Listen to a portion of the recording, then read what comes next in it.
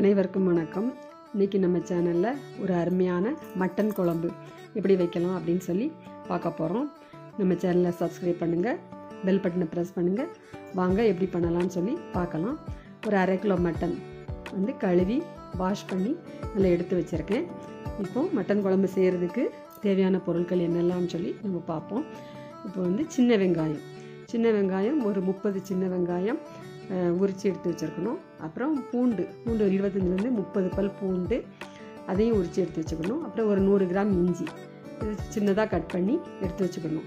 இதை வந்து நல்லா பேஸ்ட்டாக அரைச்சி வச்சுக்கணும். இஞ்சி வெங்காயம் பூண்டு எல்லாத்தையும்.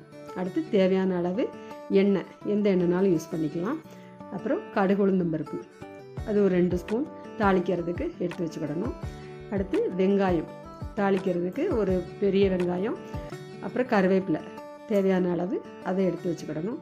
அதுக்கப்புறம் தக்காளி ஒரு ரெண்டு சின்ன தக்காளி அதை சின்னதாக கட் பண்ணி அதையும் எடுத்து வச்சுக்கிடணும்.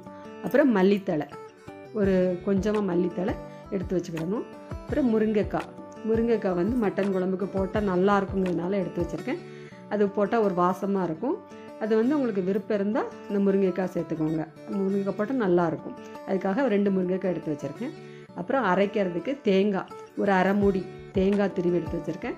கசகசா ரெண்டு ஸ்பூன் கொஞ்சோண்டு பட்டை அப்புறம் ஒரு நாலு கிராம்பு ரெண்டு ஏலம் அப்புறம் பெருஞ்சீரகம் அது சோம்பு அது ஒரு ஸ்பூன் அப்புறம் முந்திரி பருப்பு ஒரு பத்துலேருந்து ஒரு பன்னிரெண்டு முந் முந்திரி பருப்பு. இதை வந்து நல்ல பேஸ்ட்டாக அரைச்சி வச்சுக்கிடணும். அடுத்து மஞ்சள் தூள் மஞ்சள் தூள் வந்து ஒரு ஸ்பூன். அதை எடுத்து வச்சுக்கிடணும். அப்புறம் குழம்பு மிளகாத்தூள் ஒரு மூணு ஸ்பூன். இதையும் எடுத்து வச்சுக்கிடணும். அடுத்து உப்பு வந்து நம்ம குழம்புக்கு தேவையான அளவு உப்பு அதையும் எடுத்து வச்சுக்கிடணும். இப்போ வந்து குக்கரில் மட்டனை நம்ம வந்து வேக வைக்க போகிறோம் இப்போ அந்த மட்டனை வந்து கழுவி வா எடுத்து வச்சுருக்கோம்ல அந்த மட்டனை வந்து மறுபடியும் நம்ம இந்த குக்கரில் போட்டு நம்ம வந்து வந்து வேக வைக்க போகிறோம் குக்கரில் போட்டுட்டு நம்ம வந்து மஞ்சள் தூள் ஒரு அரை ஸ்பூன் மஞ்சள் தூள் அதில் போடணும்.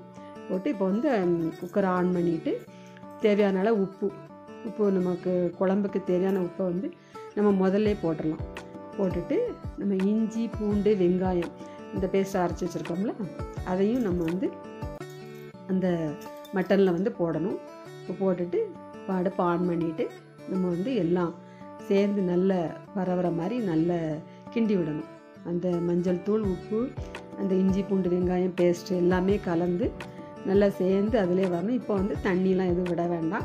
அந்த த- அந்த இஞ்சி பூண்டில் உள்ள தண்ணியிலே அது வந்து நல்லா வேகும். அந்த உப்பு எல்லாமே சேர்ந்து அதிலே நல்ல ஒரு பத்து நிமிஷம் நல்லா அந்த ஹீட்லேயே அப்படியே இருக்கட்டும். நல்ல கூடுதல் ஹை ஃப்ளேம்லேயே நம்ம வச்சுக்கலாம்.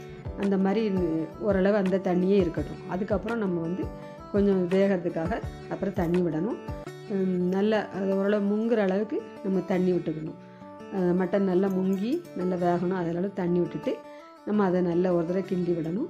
கிண்டி விட்டுட்டு இப்போ நல்லா மூடி வச்சிடணும் குக்கரை குக்கரை மூடி வச்சுட்டு ஓரளவு தண்ணி விட்டு எவ்வளோ தண்ணி தேவையோ அந்த அளவுக்கு தண்ணி விட்டுக்கோங்க. மூடி வச்சுட்டு ம- விசில் வந்து குக்கருக்கு தக்கன வச்சுக்கோங்க. ஒரு eighty eighty five eighty five percent வெந்து வேறு வேகிற அளவுக்கு நம்ம வச்சுக்கலாம். இப்போ வந்து இப்போ வெந்துருச்சு. இப்போ மட்டன் வந்து வெந்துடுது. இப்போ ஓரளவு எல்லாமே நல்லா வெந்து வந்துருச்சு. இப்போ வந்து நம்ம இதில் வந்து நம்ம ஒவ்வொரு பொருளாக நம்ம ஆட் பண்ணணும். முதல்ல முருங்கைக்காய் வச்சுருக்கோம்ல அந்த முருங்கைக்காய் வந்து ரெண்டு முருங்கைக்காய் கழுவி வச்சுருக்கேன். அந்த முருங்கைக்காயை முதல்ல அந்த மட்டன் குழம்புல போடணும். போட்டுட்டு அது நல்லா வேகட்டும் கொஞ்சம். அப்புறம் நம்ம வந்து இந்த குழம்பு மிளகாத்தூள் ஒரு மூணு ஸ்பூன் போடணும். குழம்பு மிளகாத்தூள் இல்லைன்னா மல்லித்தூளும் மிளகாத்தூளும் கலந்து காரத்துக்கு தக்கன நம்ம ஆட் பண்ணிக்கலாம். இப்போ எல்லாமே சேர்ந்து இந்த முருங்கைக்காய் இந்த மசாலா இது எல்லாமே சேர்ந்து நல்லா வேகணும். அந்த இது எல்லாம் நம்ம இதுக்கப்புறம் தான் ஆட் பண்ண போகிறோம் அதனால வந்து இந்த முருங்கைக்காயெலாம் எல்லாமே அது கொதித்து வரும்போது வந் வெந்துடும் அதனால அது பச்சை வாசனெலாம் போகிற அளவுக்கு நல்லா கொதிக்கட்டும். இப்போ வந்து தீயை வந்து கூட்டி வச்சுக்கலாம். இப்போ வந்து தேங்காய் எல்லாம் அரைச்சி வச்சுருக்கோம்ல? தேங்காய் கசகசா பட்டை கிராம்பு ஏலம் பெருஞ்சீரகம் இந்த முந்திரி பருப்பு எல்லாம் சேர்த்து அரைச்சி வச்சுருக்க அந்த தேங்காய் கலவையை வந்து நம்ம அந்த மட்டனோட சேர்த்து போட்டு நல்லா கிண்டி விடணும். இப்போ நல்லா திக்காக இருக்கும் குழம்பு.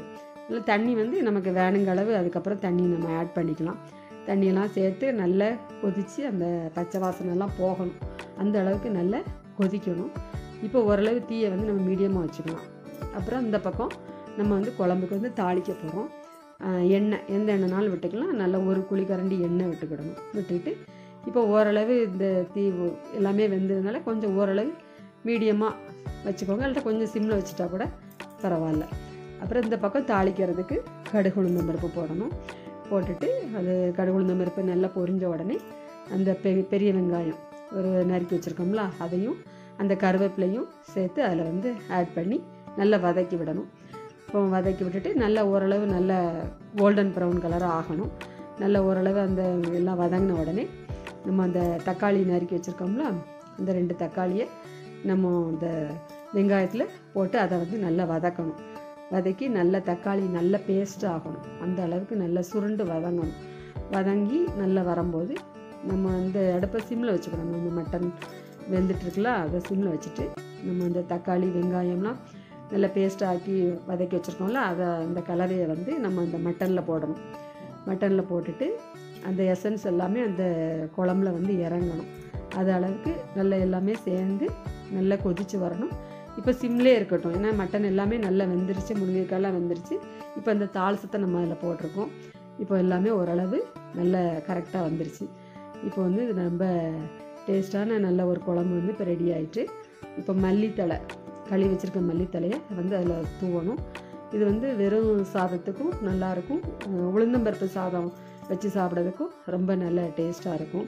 அப்புறம் சப்பாத்திக்கு நல்லாயிருக்கும் எல்லாத்துக்குமே ரொம்ப நல்ல டேஸ்ட்டாக நல்ல நல்லாயிருக்கும் இப்போ வந்து குழம்பு நல்லா கொதித்து நல்லா ரெடி ஆகிடுது ஒரு அருமையான ஒரு முருங்கைக்காய் போட்ட ஒரு மட்டன் குழம்பு நல்லா இருக்குது இப்போ இது எலும்பு சேர்த்த கறி தான் வாங்கியிருக்கேன். அதான் நல்லாயிருக்கும் இப்போ டேஸ்ட்டான ஒரு குழம்பு ரெடி ஆகிட்டு இப்போ நம்ம சேனலை சப்ஸ்கிரைப் பண்ணுங்கள் பெல் பட்டனை ப்ரெஸ் பண்ணுங்கள் எல்லோரும் கண்டிப்பாக ட்ரை பண்ணி பாருங்கள் நன்றி.